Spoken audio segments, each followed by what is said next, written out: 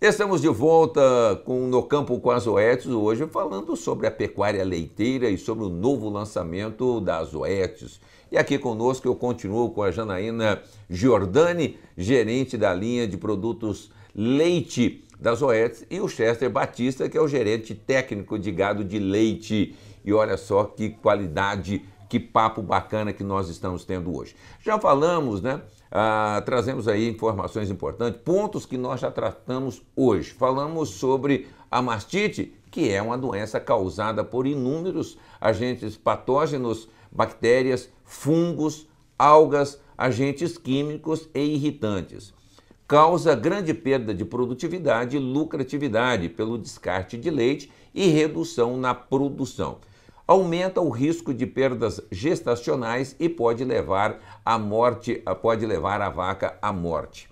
E você acaba de ganhar um grande aliado nessa luta, um intramamário eficaz que trata a doença e alivia os sintomas com um período de carência de apenas três dias. Chester, eu gostaria de que você uh, trouxesse a sua opinião sobre a identificação do agente causador da mastite é, na fazenda e se você recomendaria essa prática, uh, como deveria ser adotado pelo amigo pecuarista. Então, Devanir, isso é uma pergunta super pertinente. Sim, enquanto os OETs, a gente recomenda sim a identificação do agente na fazenda, tá?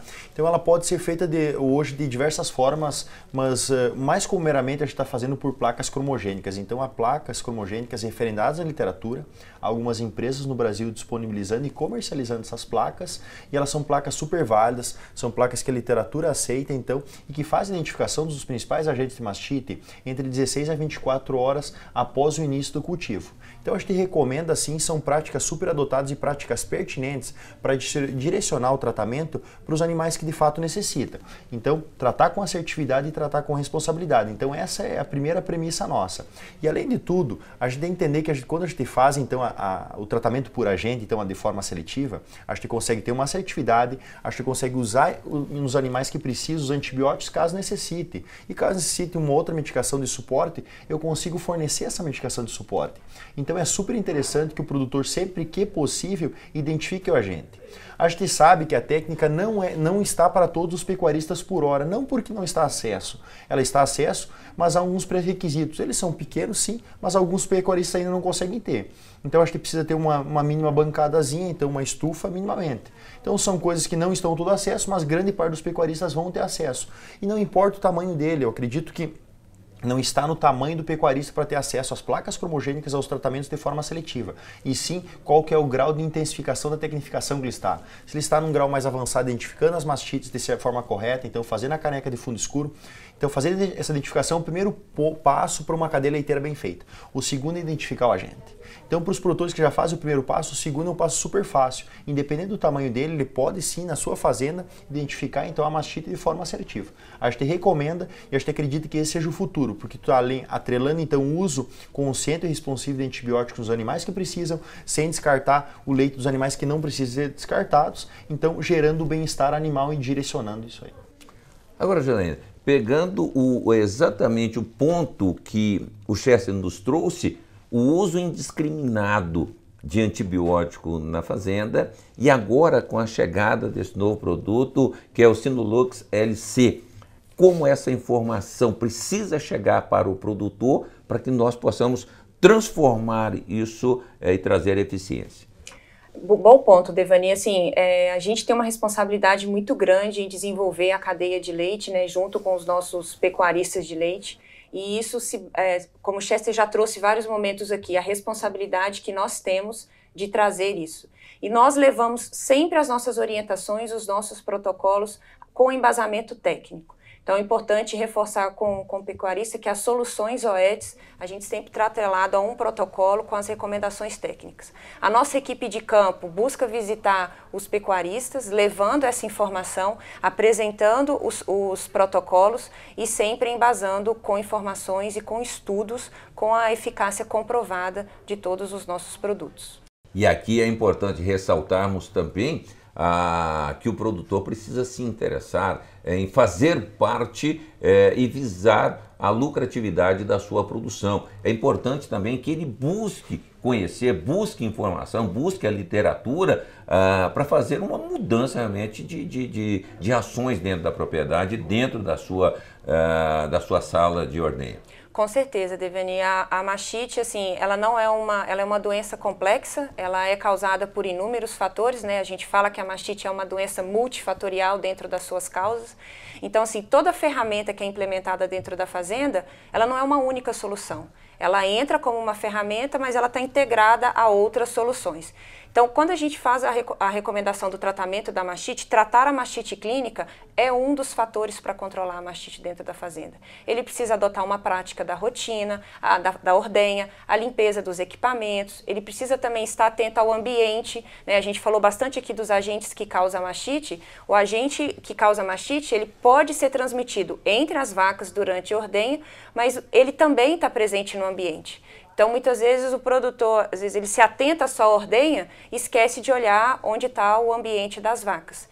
Então, a, a, sabemos né, a dificuldade da atividade leiteira, é uma atividade que nós falamos que não tem feriados, 365 dias é, do ano né, de trabalho. Então, se o produtor não estar atento a isso, não abrir para o conhecimento, buscar novas, novas ferramentas, novas tecnologias, ele também não consegue avançar dentro da produtividade e da lucratividade da atividade. É, não tenha dúvida. Agora, Chester, a importância desses protocolos é, que são adotados, né, todas essas medidas visam, ah, a princípio, o produtor não pode pensar que ele vai ter um aumento de custo, e sim uma redução de custo, porque ele vai aumentar a sua produção, consequentemente, isso ah, é absorvido e uma qualidade, sem dúvida nenhuma, muito superior. Então, um bom ponto, Levanir, e um ponto super fundamental para o amigo pecuarista.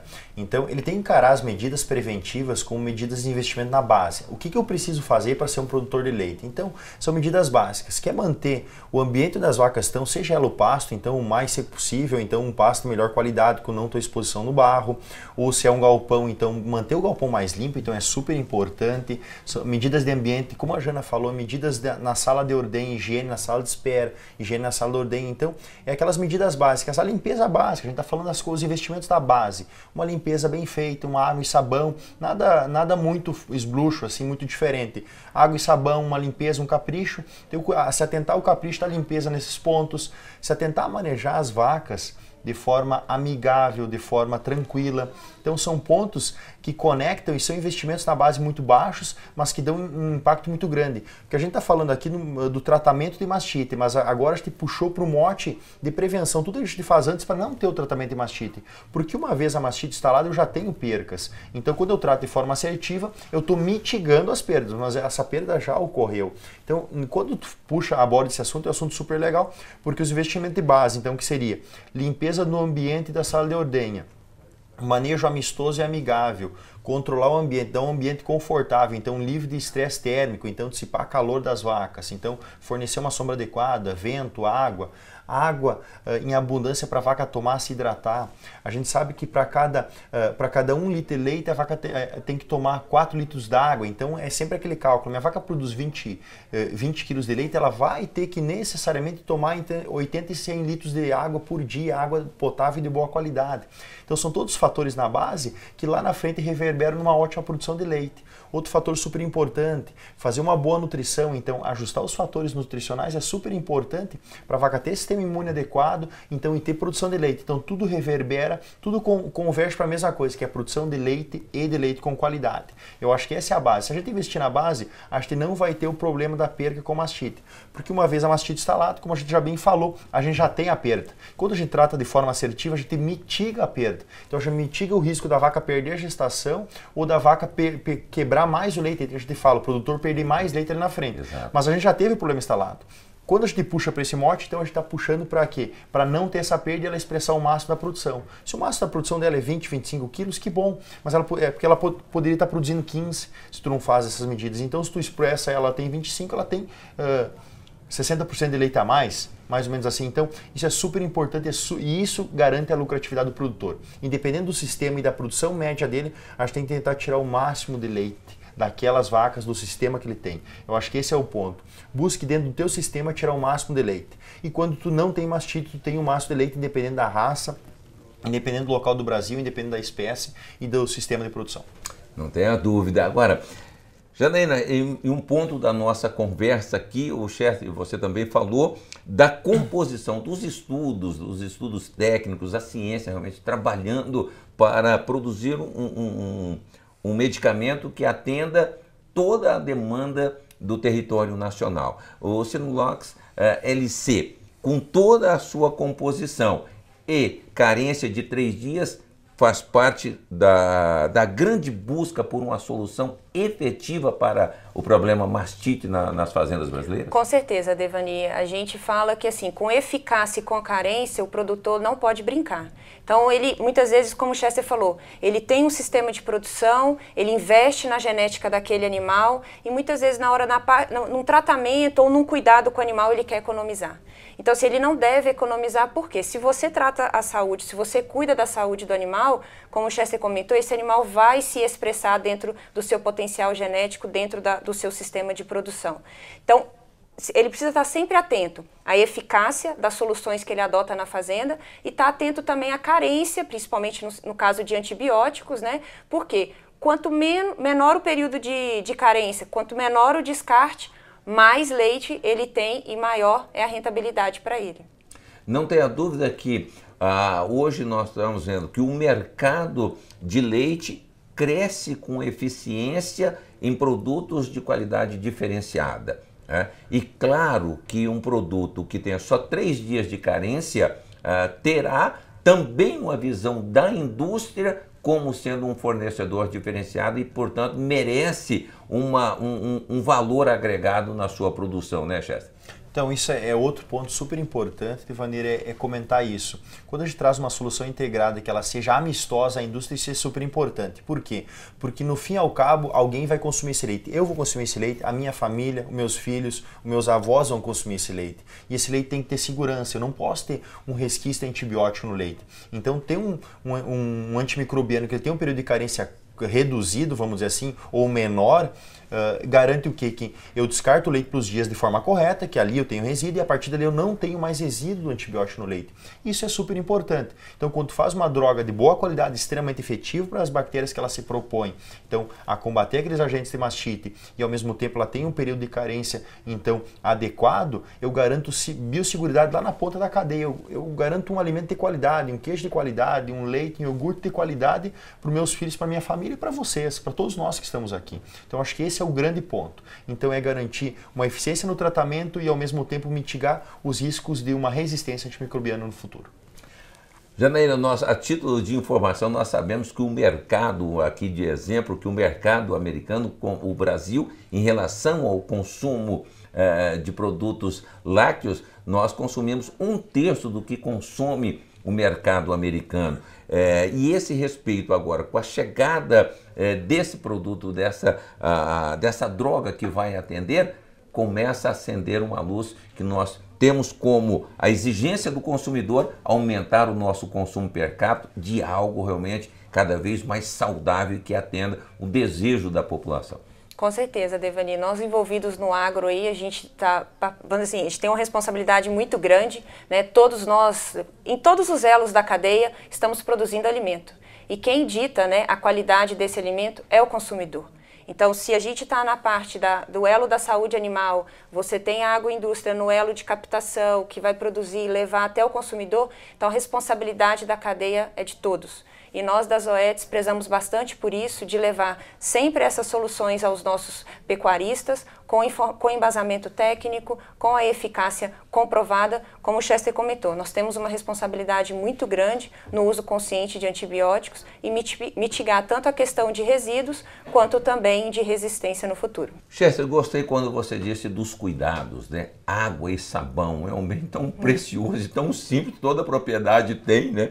Toda sala de ordenha tem. Uh, então basta que o produtor, que o colaborador das salas de ordenha tenha só essa visão da higiene. É um grande passo. E, e eu gosto muito de dizer isso, gente. Passos importantes com um trabalho de ciência, de tecnologia, de envolvimento, de respeito que uma empresa como a Zoetis tem para com o mercado e para com os animais que nós estamos falando, também de bem-estar, é muito simples. Né? E aí nós teremos esse sorriso estampado em todas as salas de ordem, em todo o bate-papo de produtor rural, de produtor de leite. Né? Então, é, é, outro ponto super legal, né, que tu trouxe novamente, Ivanir, é esse ponto. Eu acho que assim, sempre que a gente fala, eu vou, que a Zoete está transmitindo esse conhecimento, a gente fala. O pessoal pensa que é usar um super desinfetante para fazer a limpeza, a higiene, a desinfecção, não é.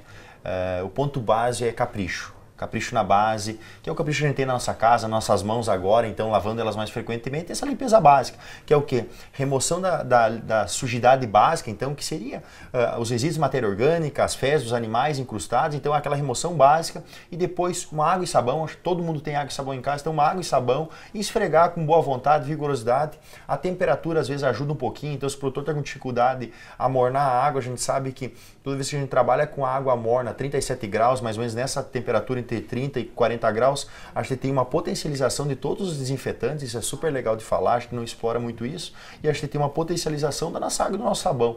Isso faz, já gera uma desinfecção super legal, super eficiente para todo amigo. Então, um produtor que está lá do outro lado. Então, se ele usar água e sabão, uma água morna, então, para ajudar, então, complementar essa limpeza com uma remoção da matéria orgânica, tu vai fazer grande parte da caminhada pela higiene e pela redução dos, dos, dos micro-organismos como um todo. Então, esse é um, é um passo que pode ser muito básico, olhando agora, mas é o passo básico mais importante do elo da cadeia. Janaína, com essas dicas simples e objetivas que o Chester nos traz, e com a rede de distribuição dos produtos OS, o Sinulux LC será encontrado com muita facilidade e aí ah, isso irá transformar ou ajudar a transformar. Agora, um bom produto precisa também que se usa esses protocolos de higiene, isso facilita. É um, é, é um conjunto de ações que trará o bom resultado. Com certeza, Devani. E você trouxe um ponto aí importante, que é a questão da mão de obra.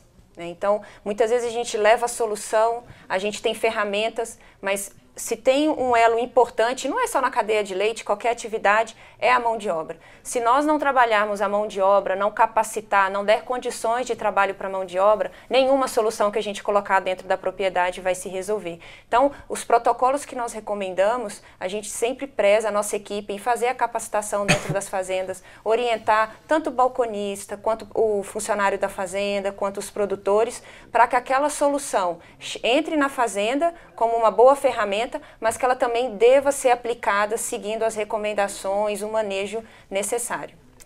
É isso, gente. Olha, aqui no Campo Zoete já tivemos vários técnicos e gerentes de produtos falando sobre o atendimento da empresa para o consumidor.